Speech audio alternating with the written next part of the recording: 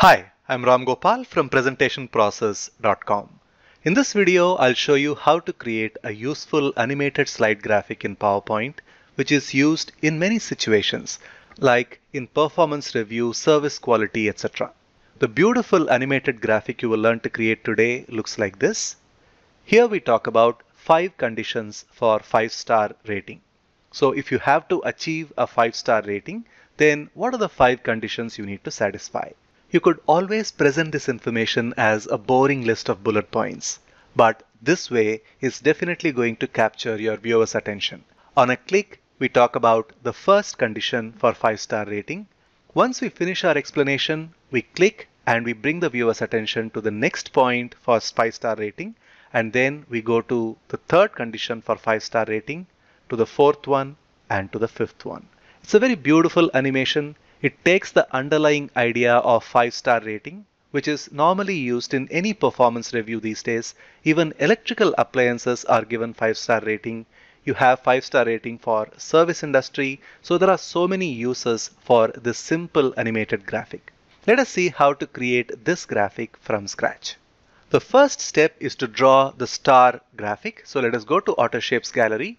From stars and banners, you can pick up this star 5 points. So click on that, hold the shift button down as you draw a star like this.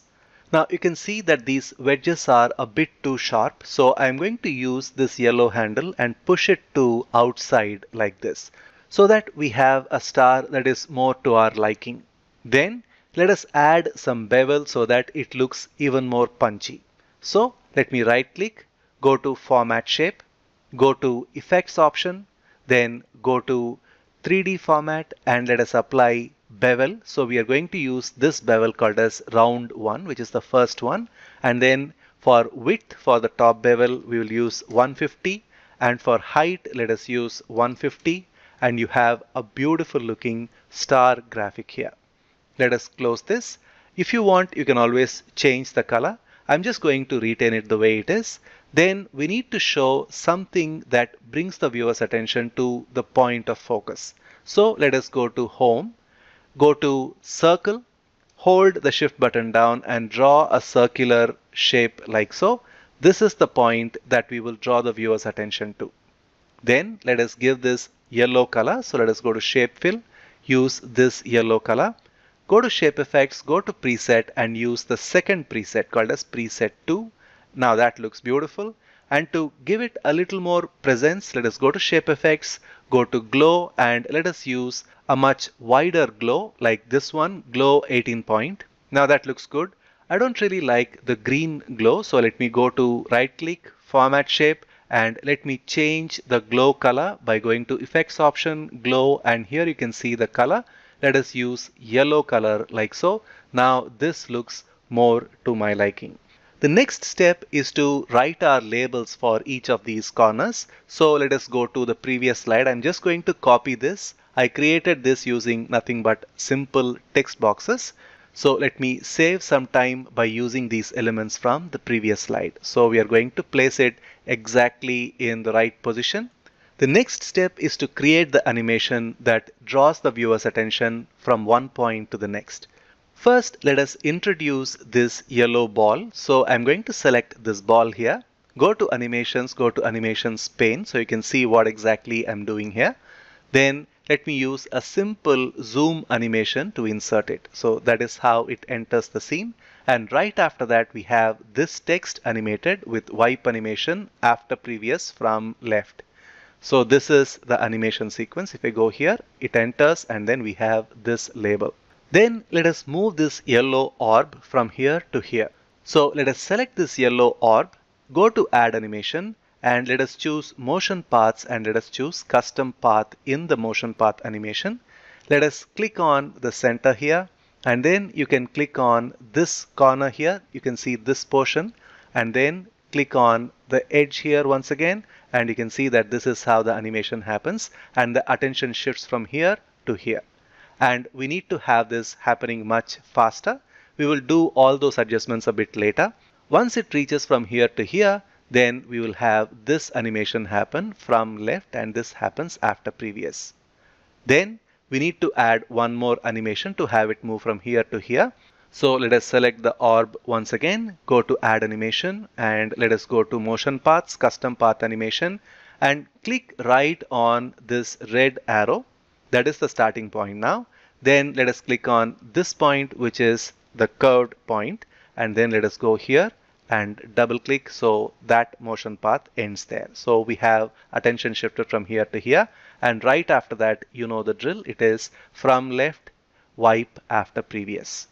Once again, we need to continue to do that for the remaining shapes as well. Select the orb, add animation, go to custom path and then click on this, go here and then double click. And once this is done, we will have this one wipe from right after previous.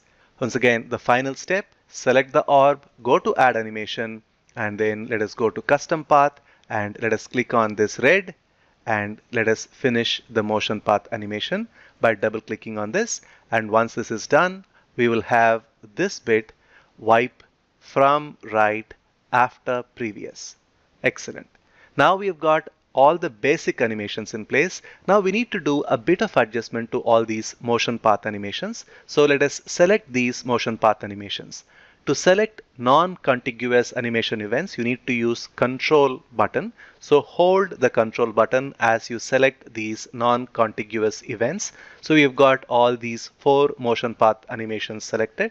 Let us go to effect options. Let us have smooth start, smooth end being nothing. That is, we have reduced it to 0% or uh, 0 seconds. And then let us add a bit of bounce.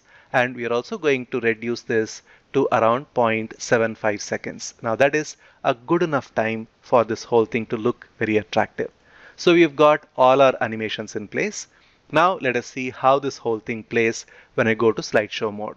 On a click, I bring the viewer's attention to the first one with a zoom and wipe, then motion path, wipe, motion path, wipe, motion path, wipe, motion path, wipe.